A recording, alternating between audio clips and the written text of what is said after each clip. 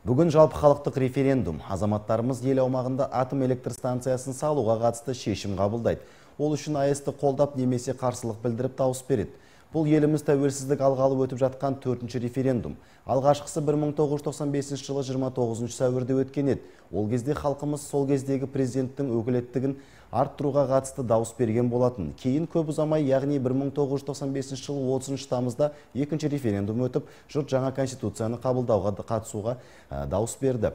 Ал үшінші референдум араға 27 жыл салып, 2 жыл бұрын 5 маусымда өтті. Ол кезде халқымыз ата заңға енгізілген өзгертулер мен түзетулерді қолдап дауыс берген еді. Ал бүгінгі референдум реті бойынша төртінші болғанмен саяси өзгерістерге қатысы жоқ алғашқы референдум.